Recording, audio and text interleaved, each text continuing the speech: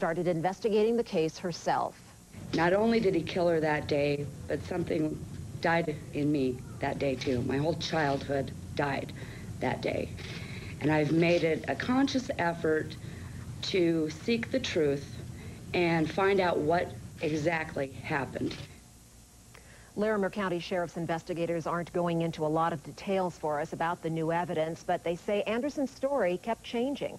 Now, if anybody out there has information about this case, you can contact the Larimer County Sheriff's Office.